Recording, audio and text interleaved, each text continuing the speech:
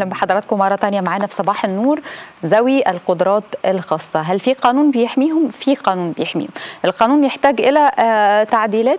هل هم ليهم حق في المجتمع؟ بنتكلم إزاي ندمجهم في ال- المجتمع؟ اللي بيتنمر عليهم اللي بياخد حقوقهم اللي مش بيرضى يشغلهم اللي مهما كنت في مكان ولا في مول ولا في شارع وفي ركنات خاصة بيهم وده مخصوص لذوي القدرات الخاصة وإحنا ولا كأننا شايفين ولا أي حاجة بنتعدى على حقوقهم وإحنا يعني مرة عن عمد ومره لأننا مش واخدين بالنا. القانون بيحمي حقوقهم إزاي؟ ده اللي إحنا هنحاول نعرفه بيسعدنا ويشرفنا. أستاذ عبد الملاك ميخائيل المحامي بالاستئناف العالي ومجلس الدولة. أهلا بحضرتك. نورنا جدا. أهلا أستاذ كل سنة وحضراتكم طيبين. حضرتك حضرتك طيب طيب وبخير. المشاهدين طيبين. اشكرك هي المشكلة بس إن في كتير من إخواتنا ذوي الاحتياجات الخاصة هم مش عارفين إيه حقوقهم. يعني و... وأنا كمان ك...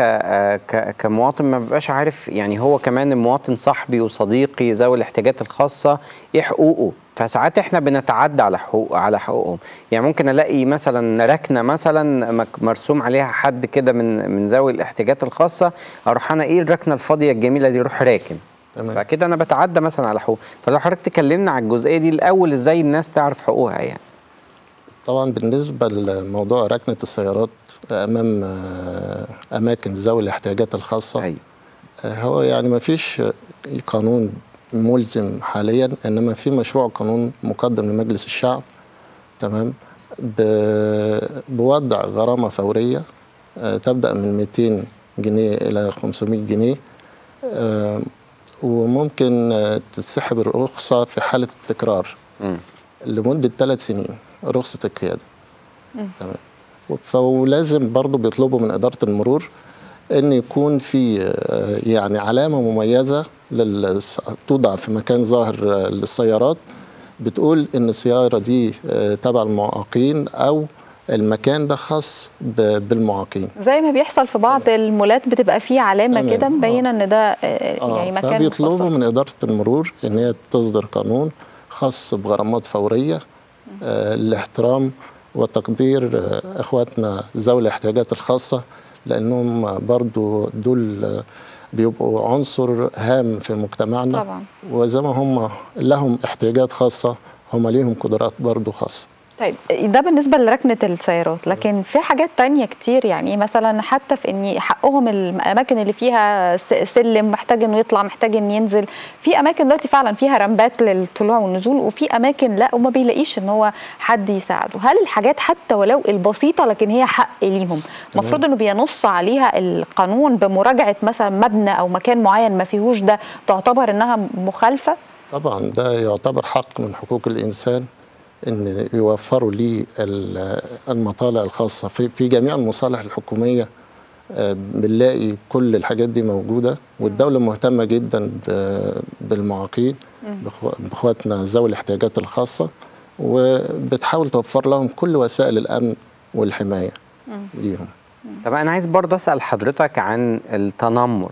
وإحنا اعتدنا للأسف يعني أنا عارف دلوقتي إن بقت الثقافة أحسن والدنيا أفضل بكتير جدا من ذي قبل يعني لكن كان في فكرة التنمر إن حد يتريق على حد من إخواتنا وحبايبنا ذوي الاحتياجات ال- الخاصة أو يقول كلمة ملهاش ملهاش لازمة.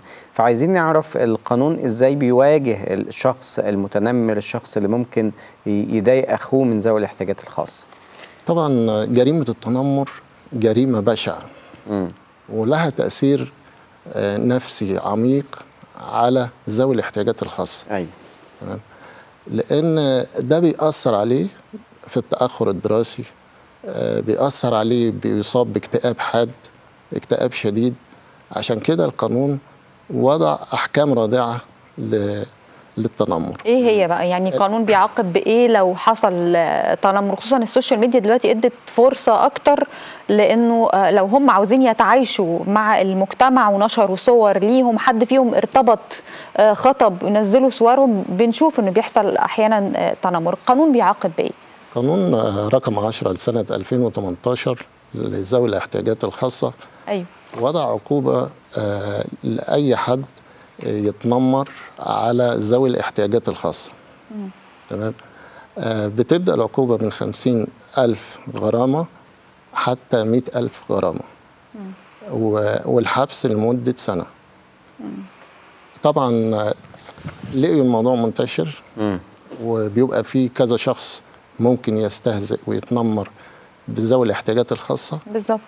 فبدأوا يشددوا ويغلظوا العقوبة. أيوه. فوضعت المادة 50 مقرر المادة 50 مقرر شددت عقوبة آه، التنمر وأصبحت آه، تبدأ الغرامة من 100 ألف إلى 200 ألف.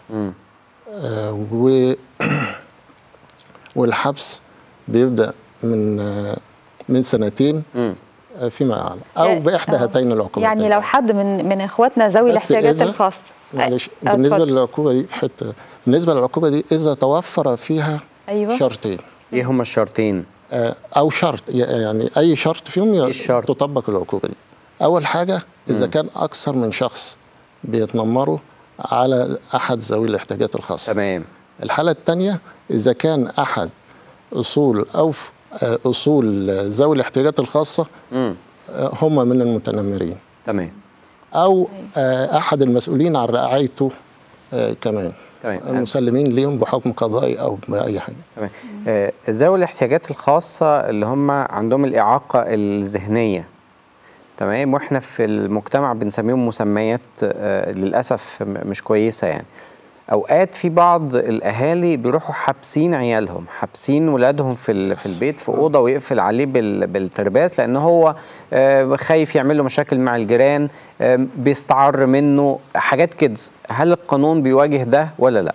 فعلا القانون وضع آه، برضو آه، تبدأ آه، من ست شهور وغرامة من آه، 5000 جنيه ل 50000 جنيه. طبعا هو حبس آه، ذوي الاحتياجات الخاصة. ده بيسبب له مشكلة. هو المفروض يندمج في المجتمع. ده ربنا خلقه عشان يعيش في المجتمع. ما تجيش انت تحبسه عشان عنده إعاقة أو أي حاجة ملوش ذنب فيه. وتبعده عن المجتمع وانت مالكش ذنب. يعني في مقولة مشهورة قالها أحد المعاقين قال لك آه، أنا ذنبي إيه إن اتخلقت معاق. أنا ذنبي إيه إن أنا اتخلقت معاق؟ طبعا. تمام؟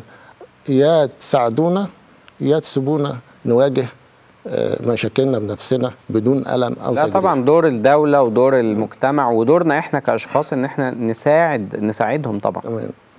طيب أنا عايزة أسأل حضرتك برضو يعني هي مش بس إن أنا ببقى مش عايز أوريهم للناس وبحبسهم لكن ده للأسف للأسف إن في بعض القائمين على رعاية ذوي الاحتياجات الخاصة بتتعدى عليهم بالضرب أو حتى بتمتنع عن إنهم تقدم لهم الرعاية المطلوبة. يعني لو حد فيهم محتاج رعاية طبية أحيانا أنا أنا هصرف عليه ليه؟ ما هو الفلوس دي أنا أولى بيها حاجة تانية. ما هو كده كده دي حالته. فبمتنع إن أنا أقدم له ال- الرعاية الطبية. لو حد من ذوي الاحتياجات الخاصة بيعاني من كده. القانون برضو بيضمن له حقه إزاي وإيه العقوبة للي بيعمل معاهم كده.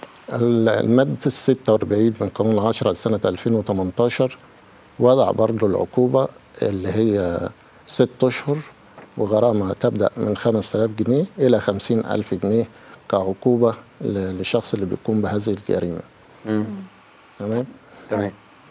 طب آه، بيبقى في بعض ال- الاعتداءات اللي هي طبعا المجتمع بيلفظها وبي وبيرفضها خاصة برضو للمعاقين آه، ذهنيا. يمكن كان في فيلم آه، مصري من يعني من أكتر من 30 سنة كان بين القصة دي. أعتقد كانت ال- الفنانة نبيلة عبيد. وفكرة الاعتداء الجنسي على ذوي الاحتياجات ال- ال- الخاصة إزاي القانون بيتعامل معاه. هل بيتعامل معاه إن هو اغتصاب ولا بيتعامل معاه إن هي إرادة حرة وكيف لذوي الاحتياجات الخاصة إن إحنا أو المعاق ذهنيا إن إحنا نقول عليه إن هو ذات إرادة حرة؟ طبعا القانون هنا بيعاقب برضه نفس العقوبة آه، للاعتداء عليه على ذوي الاحتياجات الخاصة جنسيا. آه، يعني بيعاقب بإيه يا فندم؟ العقوبة بتكون برضه ست أشهر. وغرامة تبدأ من لا لا خمس- لا لا لا لا. ست شهور يعني وغرق. يعني واحد يعتدي على بنت من بنت معاقة آه، ذهنيا يغتصبها وممكن تبقى حامل زي ما شفنا في, ال- في لا، الفيلم اللي كان بيناقش القضية بن- وياخد وياخد ست شهور. لا لا ما أظنش في يعني في أنا بتكلم الاعتداء على يا الجنسي فندم. بتكلم على الاعتداء الاعتداء الجنسي. الجنسي. آه عقوبته بتبقى إيه؟ ست شهور. لا عقوبته طبعا بتكون أكتر من كده يعني. آه. يعني بتبدأ آه، من ثلاث شهور آه، من ثلاث سنين من ثلاث سنين وأعلى يعني. أعتقد إن في مناقشة القانون والتعديلات اللي هتطرق عليه محتاج تغليظ عقوبات آه، للي للي بيعتدي عليهم بشكل أو بآخر. يعني. طبعا من أبسط حاجة لأكبر حاجة. أنا برضو عايزة أقول لحضرتك إن آه، في بعض المدارس ما فيش مراعاة لأن بيبقى الأطفال اللي في المدرسة من ذوي الاحتياجات الخاصة ممكن تكون فصولهم مثلا في, في, أدوار عالية، عالية. آه. والمدرسة ما فيهاش أسانسير فهيبقى هو هيتعامل إزاي؟ فمحتاجة إنها مراعاة. الدمج اللي بقى موجود دلوقتي لكن لسه لغاية دلوقتي ما فيش مدرسين وما فيش حتى الطلبة ما فيش وعي إزاي ممكن يتعاملوا مع طلبة الدمج اللي برضو مصرين إننا نعزلهم. برضو القانون ما سابش الحتة دي. مم. وبرضو في المادة 46 أيوه. آه، قانون 10 سنة 2018 لذوي الاحتياجات الخاصة أن يجب عليهم آه، تهيئة آه، تهيئة الأمان للأف- للأطفال ذوي الاحتياجات الخاصة اللي هي بتكون موجودة في الأدوار العليا. في في الأماكن التعليمية آه، والأماكن يعني. بيلزمهم يا آه، فندم إن ما يبقاش. الأطفال اللي كده في, ادوار عاليه بيضع عقوبة أيوه بتبدأ من ست شهور حبس أيوه وبرضه خمسين ألف جنيه غرامة. متصل لخمسين ألف جنيه غرامة. آه، آه، بنشوف وبنسمع في بعض ال- ال- البلاد وممكن يكون في مصر بس أنا لا أدعي إن أنا أعرف حالة يعني من الحالات. فكرة التجارب الطبية لذوي الاحتياجات ال- ال- الخاصة. طبعا بيبقى في تجارب آه، طبية مثلا زي لما جم يعملوا آه، لقاح فيروس كورونا عرضوا على الناس اللي عايز يجي يتفضل وبتاع بس بإرادة حرة شخصية وبيكتب وح- وحاجات كده. لكن آه، آه، يعني آه، ذوي الاحتياجات الخاصة كمان اللي بأكد عليه اللي هو يعني فاقد ال- ال- الذهن أو آه، ما عندوش قدرة أو ما عندوش حرية آه، إرادة ماذا لو تم استغلاله في التجارب الطبية؟ تمام. القانون برضو ما سابش الحتة دي. وضع عقوبات رادعة.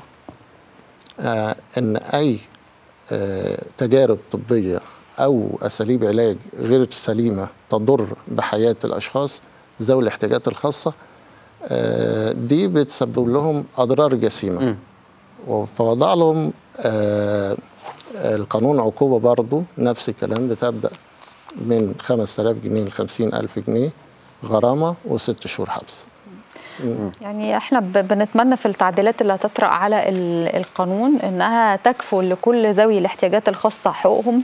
وتحميهم من أي حد بيتعدى آه، عليهم على خصوصيتهم على احترامهم وعلى أدميتهم وعلى حقوقهم في المجتمع وعلى كل حاجة ونشوف إن هو بيتم دمجهم في المجتمع بالشكل اللي يليق آه، بيهم وبكرامتهم كإنسان في الأول وفي الآخر أكيد طبعا آه، نورتنا وكنا سعداء. جدا بوجود حضرتك معانا أستاذ عبد الملك ميخائيل. المحامي بالاستئناف العالي ومجلس الدولة شكرا جدا بنشكرك. وسهلا. نشكركم مشاهدينا على متابعتكم لينا في حلقتنا النهارده. إن شاء الله نشوفكم بكرة ويوم جديد وحلقة جديدة وصباح النور. يومكم جميل.